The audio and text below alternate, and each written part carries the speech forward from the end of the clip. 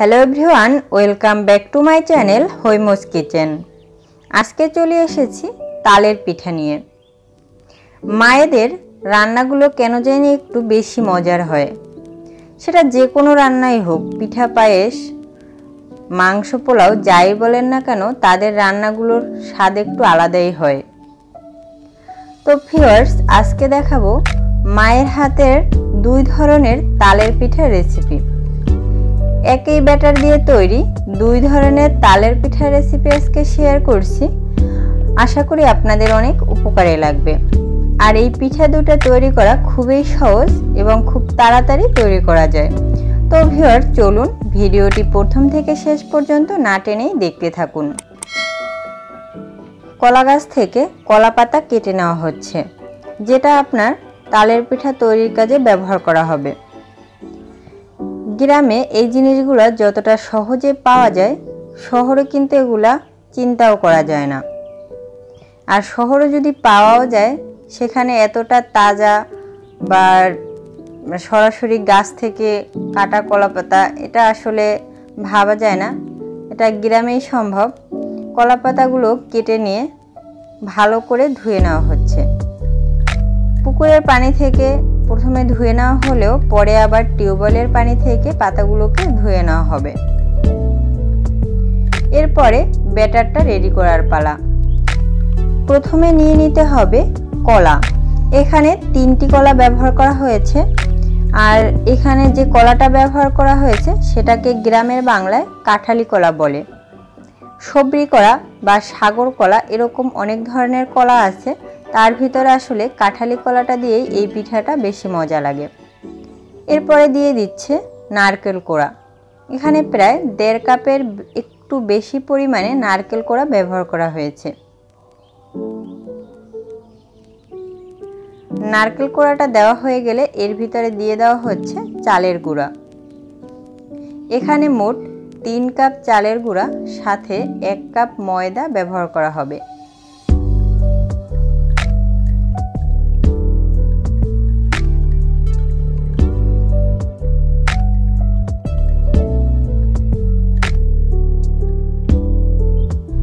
এরপরে একটা বড় পাত্র নিয়ে তার ভিতরে তালের রস নিয়ে নেওয়া হচ্ছে।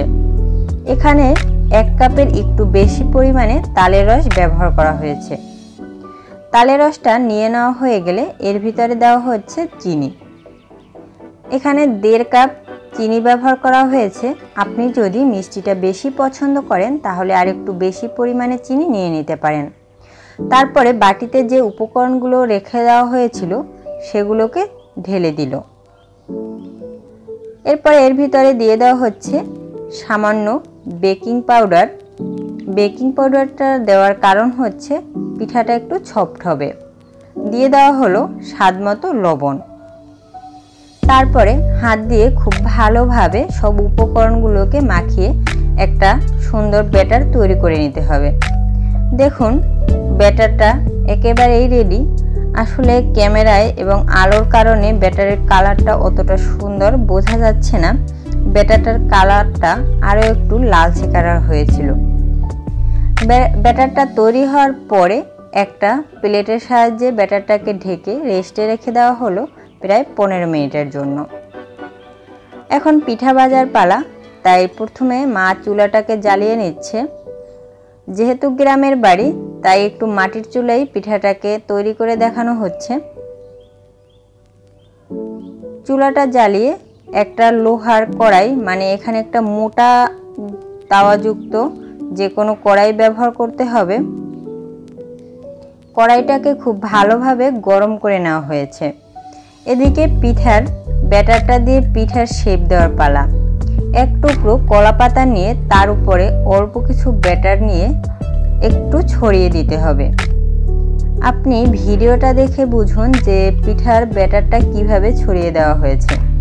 একেবারে পাতলা করে ছড়ানো যাবে না মিডিয়ামভাবে আপনার ব্যাটারটাকে ছড়িয়ে দিতে হবে। আবার বেশি মোটা করে ছড়ানো যাবে না, তাহলে আবার ব্যাটারটা যখন চুলায় দেওয়া হবে, তখন দেখবেন পিঠার উপরে হয়েছে, কিন্তু ভিতরটা সিদ্ধ হয়নি। তারপরে কলা পাতার এক সাইডে ভাস করে পিঠার ব্যাটারটাকে ঢেকে দিতে হবে। চুলার কড়াই গরম হয়ে গেছে, পিঠাটাকে চুলার উপরে দেওয়া হয়ে গেল। চুলার উপরে ব্যাটারটা দিয়ে দেওয়ার পরে একটা ঢাকনা দিয়ে ঢেকে রেখে দিতে হবে। আমি আপনাদের সুবিধার্থে আরও একটা পিঠা তৈরি দেখিয়ে দিচ্ছি। আপনি কলা পাতার টুকরায় যে পিঠার ব্যাটারটা নেবেন, সেটার টুকরার এক সাইডে নেওয়ার চেষ্টা করবেন। তাতে করে সুবিধা হচ্ছে কি, আপনার অন্য একটা কলাপাতার প্রয়োজন হবে না। একটা কলাপাতার টুকরার মাধ্যমেই আপনি একটা পিঠা তৈরি করতে পারবেন। কারণ এক সাইডে যদি আপনি ব্যাটারটা সাজান, তাহলে আপনি বাকি যে সাইডটা থেকে যাবে, সেই সাইডটা থেকে ভাস করে পিঠার ব্যাটারটাকে ঢেকে দিতে পারবেন। একটা পিঠা এক পাশ তৈরি হয়ে গেছে, এখন পিঠাটাকে উল্টে দিতে হবে। উল্টে দেওয়ার পরে আবারও ঢাকনা দিয়ে পিঠাটাকে ঢেকে দিতে হবে। আর এই পিঠাটা তৈরির সময় তাড়াহুড়া করা যাবে না, কারণ এই পিঠাটা তাড়াহুড়া করে তৈরি করতে গেলে পিঠার উপর পুড়ে যাবে, কিন্তু ভিতরে সিদ্ধ হবে না। দেখুন একটা পিঠা তৈরি হয়ে গেছে, এটাকে তুলে নেওয়া হচ্ছে। মায়েরা কীভাবে জানি হাত দিয়ে পিঠাটা তুলে নেয়, আসলে এটা আমার দ্বারা সম্ভব না। তাদের হাত দিয়ে কীভাবে তো গরম জিনিস ধরে, এটা দেখলেই কেমন জানি লাগে। আপনারা আবার হাত দিয়ে তুলতে যাবেন না, তারা পারে, এজন্য যে আপনিও পারবেন, সেটা কিন্তু ঠিক না। আরও একটা পিঠা ভেজে নেওয়া হচ্ছে। এখানে আর একটা কথা বলে রাখছি, এই পিঠাটা কিন্তু অনেক হাই হিটে তৈরি করা যাবে না। এই পিঠাটা একেবারে লো ফ্লেমে তৈরি করতে হবে, তাহলে দেখবেন পিঠাটা একেবারেই পারফেক্ট হবে। এই পিঠাটারও এক পাশ হয়ে গেছে। এখন আবার একটু ঢাকনা দিয়ে ঢেকে পিঠাটাকে তৈরি করে নেওয়া হচ্ছে। কিছু সময় পরে ঢাকনাটাকে তুলে নেওয়া হচ্ছে। তারপরে একটু চেক করে নেওয়া হচ্ছে যে পিঠাটা হয়েছে কিনা। এই পিঠাটাও প্রায় তৈরি হয়ে গেছে।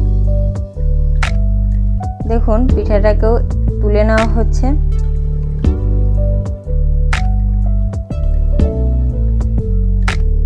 এভাবে করে আমি সব পিঠাগুলো ভাজা দেখাচ্ছি না।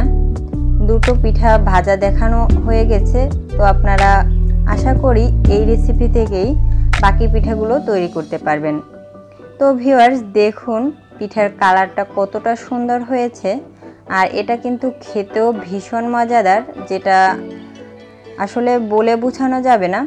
আপনি যদি এই টাইপের পিঠা খেয়ে না থাকেন, তাহলে অবশ্যই বাসায় ট্রাই করবেন। এটা মাটির চুলায় করা, আপনি চাইলে সেমভাবে আপনি গ্যাসের চুলায়ও করতে পারেন। আমার একটা কিউট বোন আছে, সে আবার সব প্লেটের পিঠা নিয়ে একাই বসেছে। দেখুন সে পিঠা খাচ্ছে এবং সে কতটা খুশি। তার আবার এই পিঠাটা খুবই পছন্দের। তো ভিউয়ার্স আশা করি এই রেসিপিটি আপনার কাছে ভালোই লাগবে। আর দেখুন, এই পিঠাটা ভেঙে নেওয়া হয়েছে। এই পিঠাটার ভিতরটাও কতটা সুন্দর হয়েছে। এটা দেখতেও সুন্দর এবং অনেকটাই সফট আর খেতেও কিন্তু খুবই মজাদার। এখন অন্য একটা কড়াই নিয়ে বাকি রেসিপিটা আপনাদের দেখিয়ে দেওয়া হবে। এই কড়াইটা একটু পাতলা ধরনের। এর ভিতরে দিয়ে দেওয়া হচ্ছে তেল। এই পিঠাটা যেহেতু ডুবো তেলে ভাজতে হবে, তাই কিছুটা বেশি পরিমাণেই তেল নিয়ে নিতে হবে। তেলটাকে খুব ভালোভাবে গরম করে নিতে হবে। প্রথমে অল্প একটু ব্যাটার দিয়ে দেখে নিতে হবে যে তেলটা ঠিকমতো গরম হয়েছে কিনা।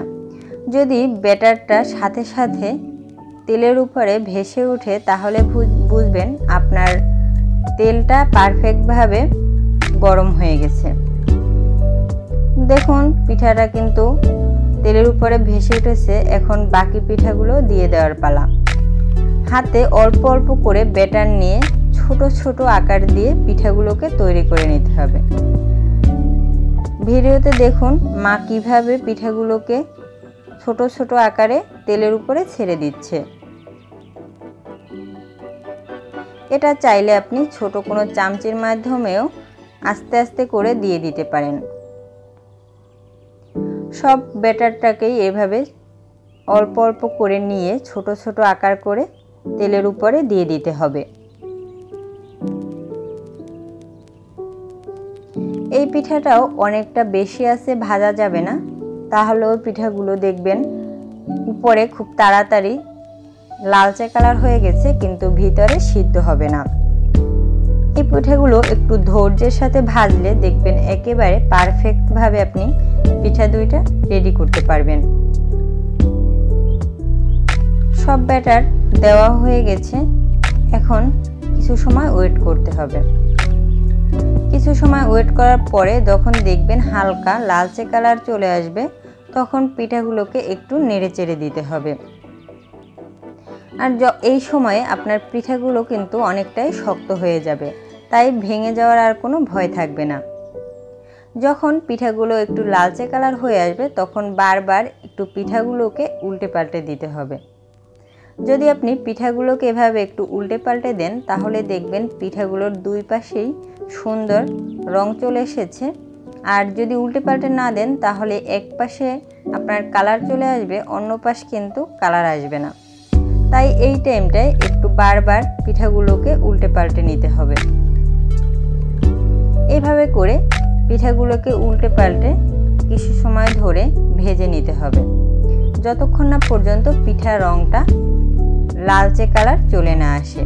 অনেকে অনেক বেশি লালচে কালার পছন্দ করেন, অনেকে আবার একটু হালকা লালচে কালার পছন্দ করেন। যে যেভাবে যে কালারটা পছন্দ করেন, সেই পর্যায়ে পিঠাটাকে নামিয়ে নেবেন। পিঠাগুলো রেডি হয়ে গেছে। এখন এগুলোকে একটা পাত্রে তুলে নেওয়া হচ্ছে। আসলে এই চুলার ঘরটা একটু অন্ধকার বলে পিঠার কালারটা ওইভাবে বোঝা যাচ্ছে না। আমি একটু আলোতে নিয়ে পিঠার কালারগুলোকে দেখিয়ে দিচ্ছি। ভিউয়ার্স, দেখুন আলোতে পিঠার কালারগুলো কতটা সুন্দর হয়েছে।